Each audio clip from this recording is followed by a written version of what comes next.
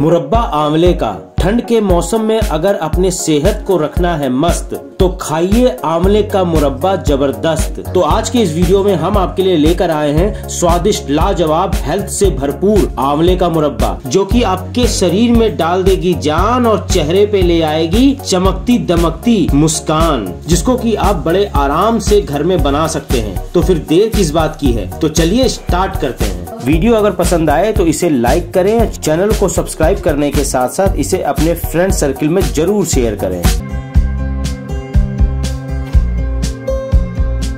तो आज हम बनाएँगे आंवले का मुरब्बा। तो आंवले का मुरब्बा बनाने के लिए सबसे पहले आंवले को हम चाकू से चारों तरफ़ छेद कर लेंगे। ये करीब एक किलो आंवला है तो एक किलो आंवले को देखिए, इस तरह से हमें चाकू से छेद करना है आंवले में। पहले तो अगर आपके पास कांटे वाला चम्मच हो, जिसको की फोर्क कहते हैं, वो हो तो उससे भी आप इसमें छेद कर सकते हैं। या कोई छेद करने का और दूसरा ऑप्शन है तो वो भी यूज़ कर सकते हैं, और मेरे को कमेंट बॉक्स में लिख के बताएँ कि आप और किस तरीके से आंवले को छेद कर सकते हैं। फ़िलहाल मेरे पास चाकू एक ऑप्शन है, जिससे की मैं चाकू से आंवले में छेद कर रहा हूँ। तो इस तरह से सारे आंवले में छेद कर लेंगे, जैसा कि आप देख रहे हैं।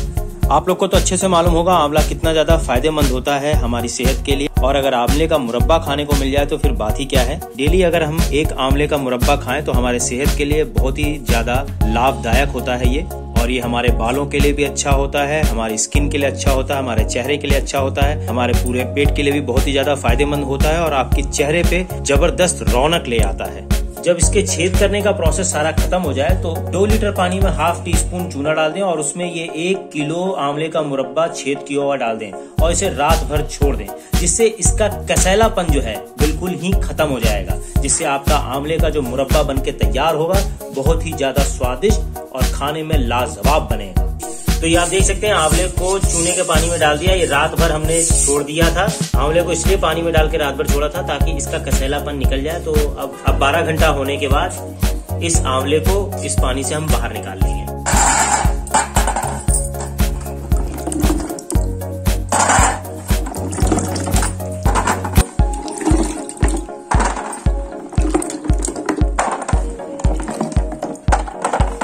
देख रहे हैं, मैं पानी से आंवले को बाहर निकाल ले रहा हूँ। और अब पानी से बाहर निकालने के बाद इस आंवले को पानी में उबालेंगे। तो ये रात भर छोड़ने के बाद हमारा आंवला तैयार है। अब हम चूल्हे के ऊपर इस दोने को गर्म कर लेंगे और इसमें हम डाल लेंगे पानी।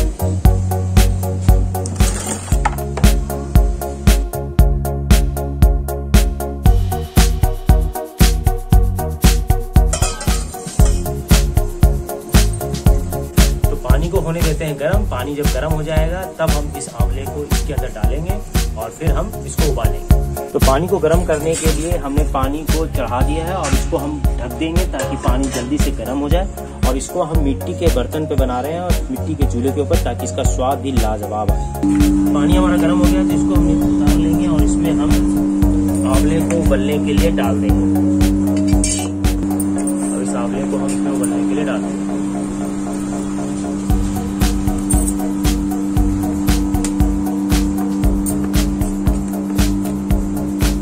आंवला सेहत के लिए तो अच्छा होता ही है। साथ ही साथ आपके बालों के लिए, आपके पेट के लिए, आपके शरीर के लिए हर तरह से अच्छा होता है। और आंवले का मुरब्बा आपने मार्केट से लेके तो खाया होगा, मगर एक बार आप जब घर में बनाएँगे इस आंवले के मुरब्बे को तो इसके टेस्ट का स्वाद अलग ही होगा और ये आपके सेहत के लिए भी बहुत ही ज़्यादा फ़ायदेमंद होगा। और साथ ही साथ ये मिट्टी के बर्तन में बन रहा है तो ये स्वाद के साथ साथ डबल सेहतमंद हो जाएगा। अगर आपको ये वीडियो पसंद आ रही है और अच्छी लग रही है तो इसे एक लाइक दें फटाफट और मेरे चैनल को सब्सक्राइब करें। तो आप देख रहे हैं, हमारा आंवला जो है उबलने लग रहा है और इसके उबलने के बाद इसका हम पाक तैयार करेंगे और फिर इस आंवले को उसमें डालेंगे, जिससे कि हमारा आंवले का मुरब्बा तैयार होगा।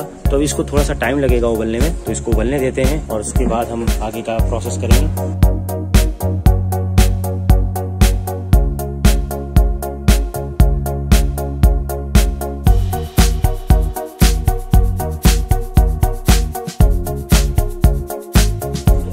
तो लगता है हमारा आग बुझ गया है।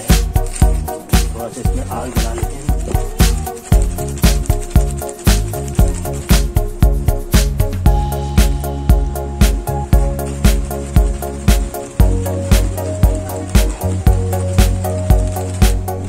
थोड़ा सा एक बार हम इसको उबलते हुए चला लेंगे।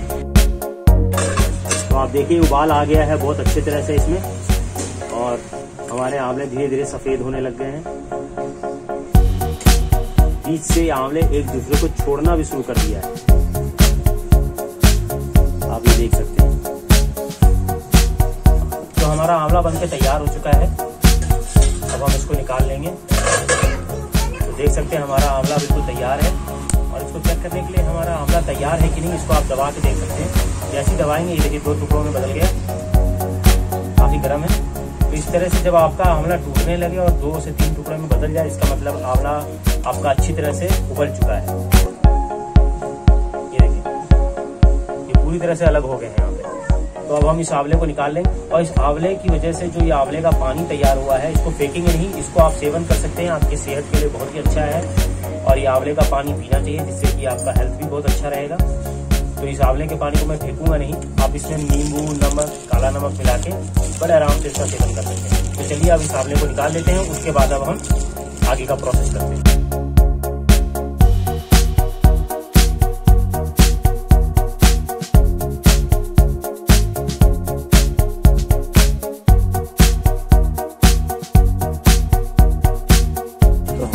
तो उबल के तैयार हो चुके हैं।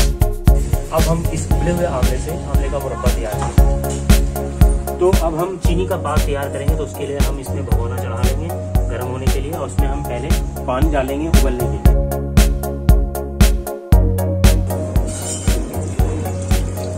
तो आप देख सकते हैं पानी हमारा उबलने लगा है। अब इसमें हम चीनी को डाल लेंगे। तो हमने ये चीनी ले लिया है। ये करीब एक किलो चीनी है। एक किलो आंवले के मुरब्बे को बनाने के लिए हमें एक किलो चीनी के पाक की ज़रूरत होगी तो हम इसमें डाल लेंगे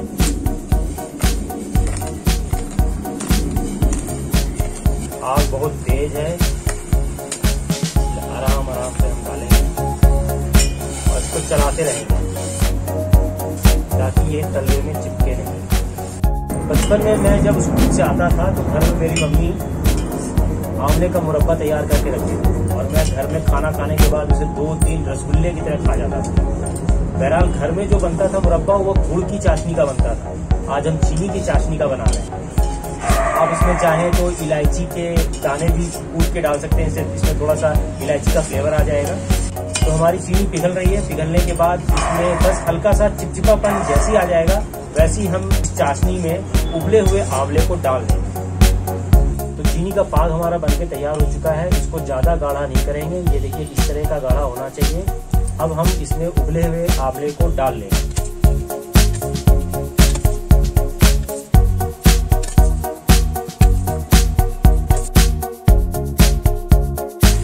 डालने के बाद इसको मिला लेंगे। तो ये हमने दो तीन इलायची ले लिया है, जिसको हमने पीस लिया है, और इन इलायची को हम इसमें डाल देंगे ताकि इसमें थोड़ा सा इलायची का फ्लेवर आ जाए और खुशबू आ जाए इलायची की, जिससे कि इसका टेस्ट और भी ज़्यादा जानदार और शानदार हो जाता है। तो आप देख सकते हैं हमारा आंवले में उबाल आ रहा है और धीरे धीरे हमारे ये चीनी और आंवले का पानी सूख रहा है। ये पानी जब आधा हो जाएगा, तब हम इस आंवले को उतार लेंगे। तब तक हम इसको सुखाते रहेंगे। सूखने के बाद ये आंवला थोड़ा गाढ़ा सा हो जाएगा और लगातार नीचे चलाते रहेंगे ताकि ये नीचे से चिपके नहीं तो हमारे आंवले का मुरब्बा बनकर तैयार हो चुका है। आप देख सकते हैं। और इसमें जो चाशनी हमने तैयार की थी आंवले के मुरब्बे की, वो आधी हो चुकी है। और लगभग गाढ़ी भी हो गई है आप इसमें देखेंगे तो हाथ में चिपचिपा सा आने लग गया है। इसका मतलब हमारा आंवले का मुरब्बा बनके तैयार हो चुका है। अब हम इसको उतार लेंगे और इस आंवले के मुरब्बे को आप खा सकते हैं ठंडा होने के बाद और इसको खाने के बाद अगर चाशनी बच जाए तो उस चाशनी को दोबारा से आप यूज़ कर सकते हैं आंवले के मुरब्बे को बनाने। तो इसको अब हम उतार लेंगे और इसको ठंडा करेंगे और ठंडा करने के बाद किसी जार में रख लेंगे और इसको यूज़ कर सकते हैं डेली खाने के रूप में। तो इस तरह से आप आंवले के मुरब्बे को घर में बना सकते हैं और बाहर वाले आंवले के मुरब्बे से भी ज़्यादा अच्छा मुरब्बा आप घर में खा सकते हैं। तो इसी तरह के वीडियो के लिए हमारे चैनल को सब्सक्राइब कर लीजिए और अगर ये वीडियो आपको पसंद आया है तो इस वीडियो को लाइक करें और इस वीडियो को ज़्यादा से ज़्यादा लोगों के साथ शेयर करें ताकि उनको पता चल सके कि आप घर में कैसे आंवले के मुरब्बे को बना सकते मिलते हैं हम आपसे नेक्स्ट वीडियो में, तब तक के लिए बाय बाय